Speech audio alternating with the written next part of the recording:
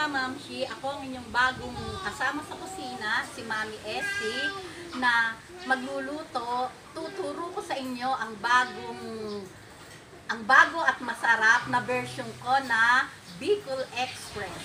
Okay, let's start now. Heto na ang mga ingredient. Oil, sugar, ah, pepper, salt, bagoong, sibuyas, bawang, siling panigang. Kailangan marami to para mas masarap.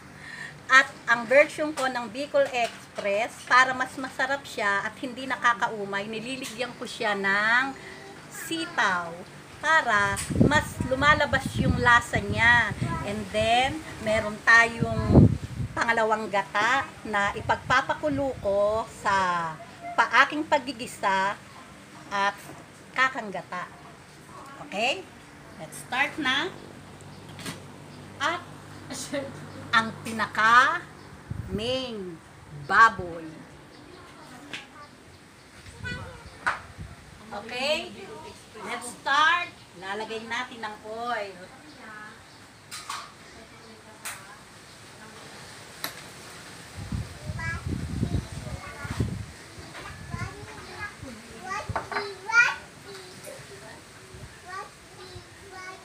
Paiinitin natin ang mantika para maganda pagigisa.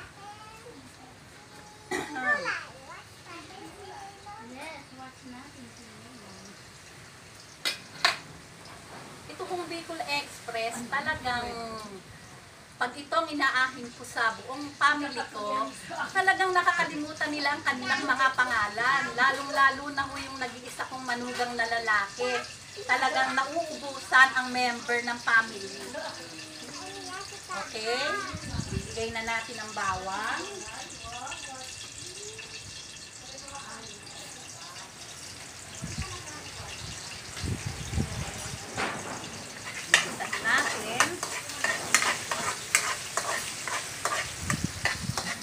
Hanggang sa medyo mag light brown.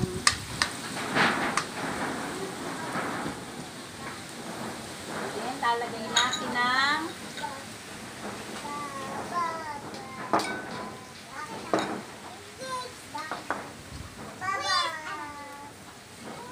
sibuyas,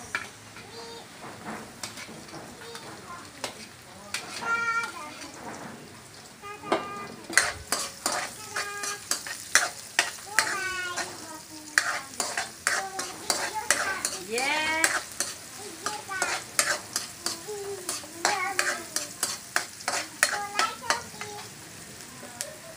at sa pagigisa, nilalagyan ko siya ng chili flakes para mas tumalab yung anghang niya.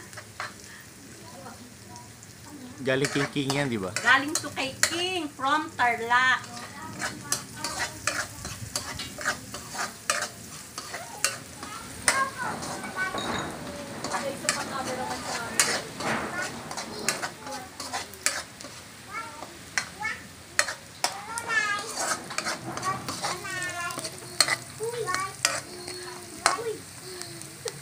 Yan. Nakita nyo, kumukulay ang chili flakes.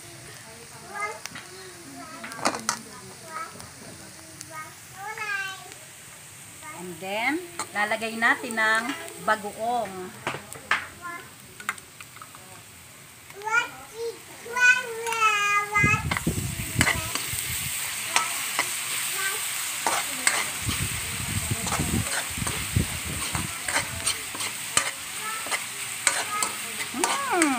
Ang bango-bango. Lalagay natin ang baboy. Malinis na po ito dahil hugas na hugas na to. Kanina ko pa ito ginawa.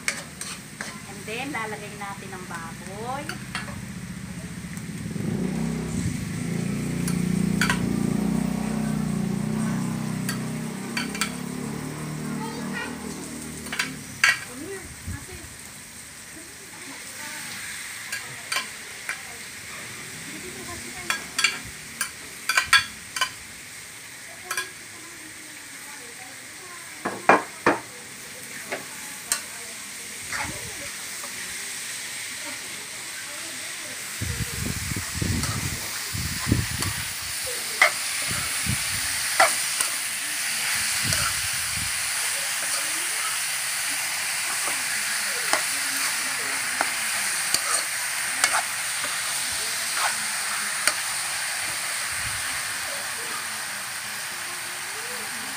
Natin ng pepper.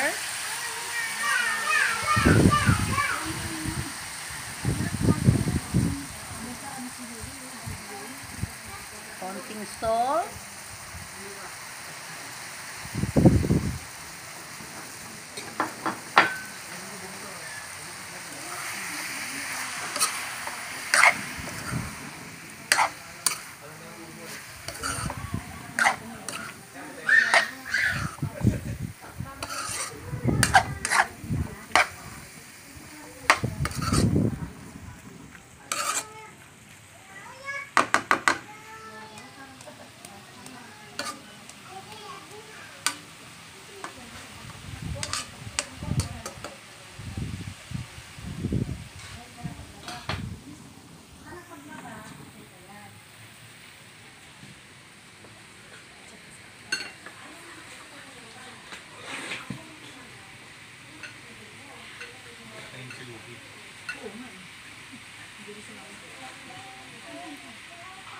Ano na, mami?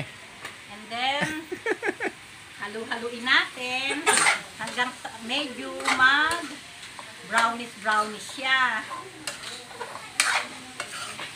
Sagi-sahing maigi bago ilagay ang pangalawang gata.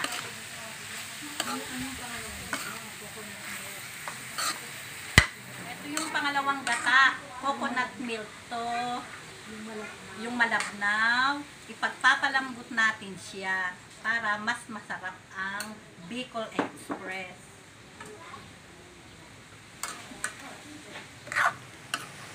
Ang pin- pagkatapos gisahin, ang pinampapalambot lang ay tubig. Pwede rin naman yon. Pero ako, yung pangalawang gata, coconut milk. Para lasang-lasa siya talaga. Okay? Takpan natin hanggang sa lumambot. Ayan. Papabayaan ko lang siyang lumambot hanggang kasi hindi mo na hindi naman natin masasabi kung magbibigay tayo ng oras, iba-iba ang klase ng baboy, may madaling lumambot, may matagal, kaya question sa texture ng baboy. Pag malambot na, saka natin liligyan ng mga iba pang sangkap. Okay, kalambutin muna natin. Then, takpan ulit natin ng mga ilang minuto para lumambot siya ng okay. Tingnan natin kung malambot na ang baboy. Ito ang apo kong napakakulit. O, tingnan mo. Hindi makaluto si Lolay. Tingin ka sa camera, baby. Tingin, tingin. O, Waki.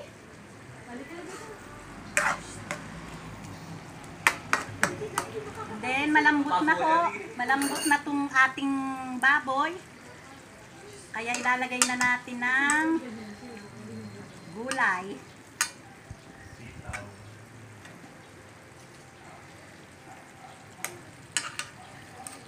Yan, tingnan natin. Okay na. Malambot, okay, malambot na tong baboy. Lalagay ko na ang sitaw.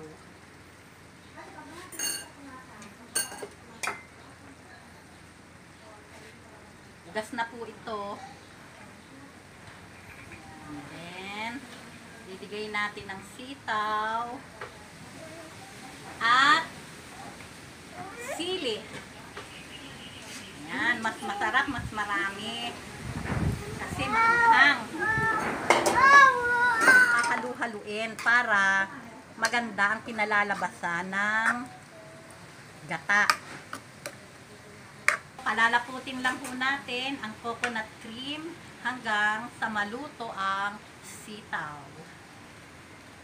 Ayan. Bayaan lang po natin siyang kumulo.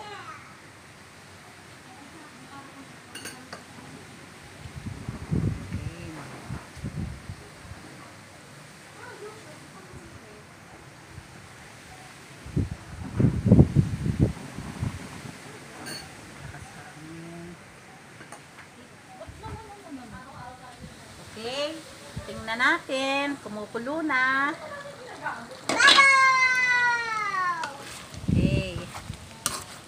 Hihintayin lang natin siyang lumambot ang sitaw at okay na to. Liligyan ho natin siya ng na natin. Kumukulo na siya.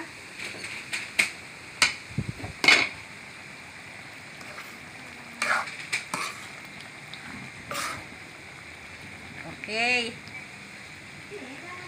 Ako ay naglalagay ng sugar sa Bicol Express kasi mas nasasarapan ako pag maanghang. Medyo malambot na ang sitaw kaya maglalagay ako ng kaunting sugar. Question sa panlasa nyo. Kasi ako mas gusto ko ang may sugar eh.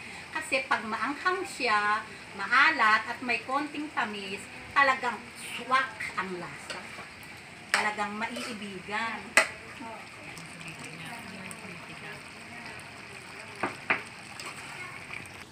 Titikman na natin kung okay na ang lasa niya.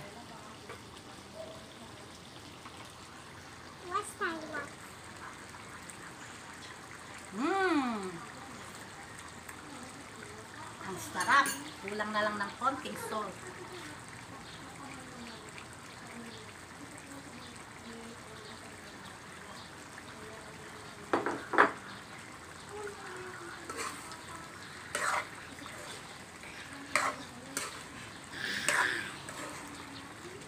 Okay na. Kung gusto pa ng konti pang anghang para mas masarap sa tag-ulan. Pag umuulan,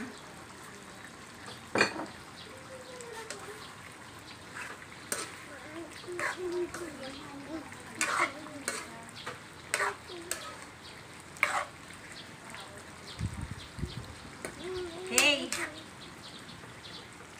Ready na.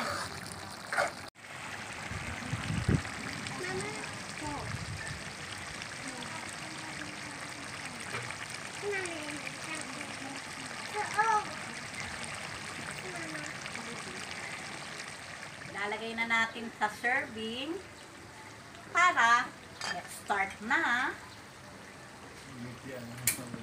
Okay. Mmm.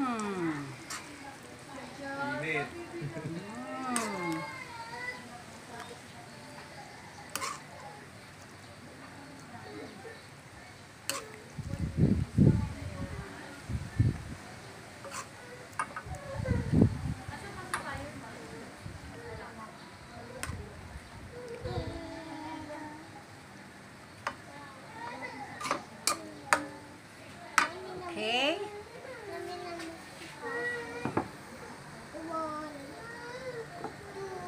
And then, Tadam! Okay na ang Bicol Express ni Mami Essie.